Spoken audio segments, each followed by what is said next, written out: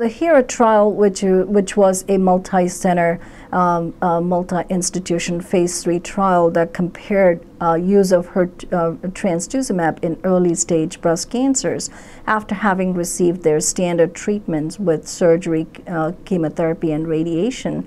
And they were randomized to receiving trastuzumab for one year or two years or observation.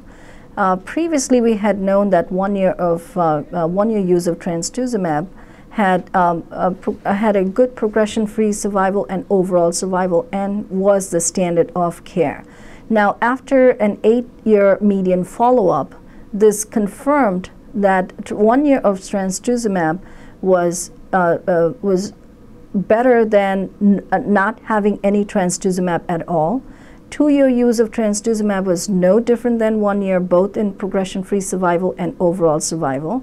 The primary cardiac toxicity remained the same in both the arms, whereas the secondary cardiac toxicity was higher in two-year arm with 7% as compared to 4% in one-year group.